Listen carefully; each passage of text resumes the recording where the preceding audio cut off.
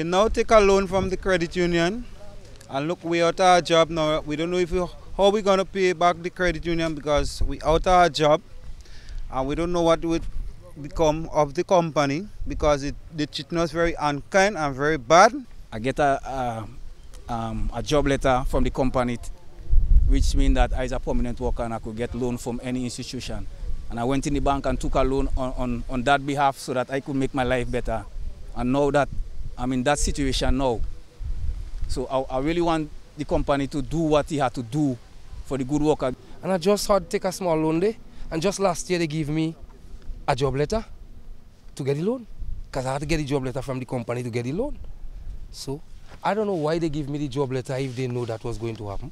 That was full time workers of Renegade Rum Distillers, commonly known as CANECO Limited, expressing their feelings on how their lives will change with the latest decision of their employers. 27 of the harvesting team were given letters stating that their service will be terminated and rehired on the contract after already being sent home on leave for the month of January. The workers, along with their union, came out in protest action on Monday, saying the move by management was not first discussed with the union. Field officer of the Bank and General Workers Union, Jaron Griffith, says they stand in solidarity with the workers. He explains that after the workers received the letter on January 3rd, they did meet with management three times in attempt to solve the issue.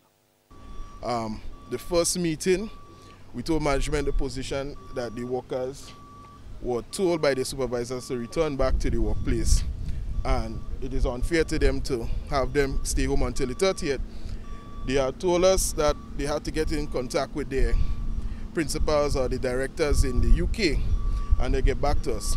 Subsequently, we had a other meeting on the um, 13th of January where the union was served a letter informing us that the workers Instead of returning back to work on the uh, 30th of January, they'll be, they'll be severed and there'll be changes to the contractual arrangement. So they move these workers here from full-time employees to seasonal workers. And they made this decision on their own.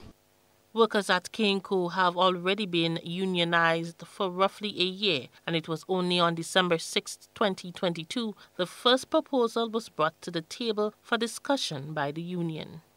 We submitted a proposal for the terms and conditions of the workers in December, I believe December 6, I'm, subject, I'm subjected to correction.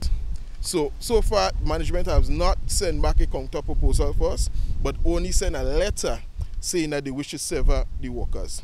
Griffith says management at CANECO did explain why they decided to change the arrangement with workers.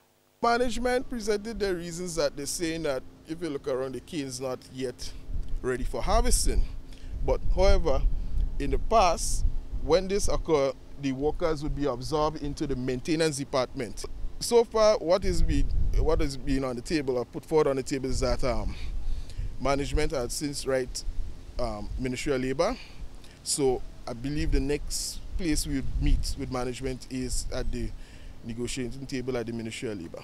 Through a press release, CANECO stated that as per the Employment Act, CANECO Limited has terminated the current contract of employment with the CANECO harvesters and offered immediate re-employment the new contracts as seasonal CANECO harvesters. The release further states that each terminated worker shall receive all statutory compensation to which he or she is entitled. For GBN News, I am Rena Pet Thomas reporting.